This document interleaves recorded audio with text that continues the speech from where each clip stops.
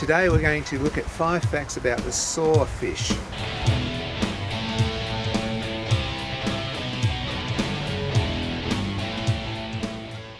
Fact number one.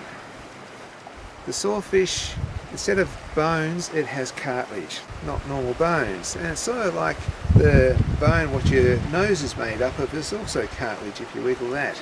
So we've got a bit of cartilage in our bodies as well. Now all sharks and stingrays have this. It's probably more of a modified ray than a shark. It's a very shark-like looking ray.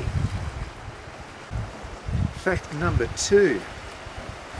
On its snout, which is very unusual, it has what looks like a row of teeth, but these are actually not teeth. These are modified scales, and it goes down to the bottom of the sand, sandy ocean, and it moves its nose around, and this will stir up things. It eats crustaceans and small fish and things like that. How long is a sawfish? It can grow up to over 20 feet long and some have been recorded to going well over 25 feet in length.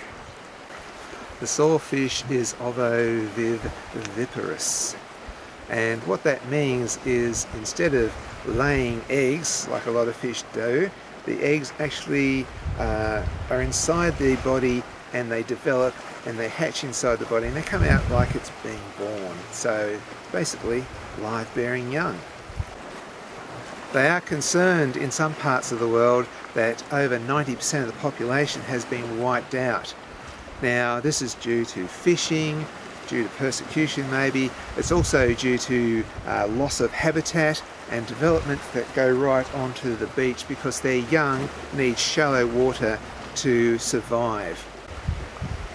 And so that's the sawfish, a beautiful animal which we're going to, in the next video, show you how to draw one. So stay tuned for that video. I'll see you later.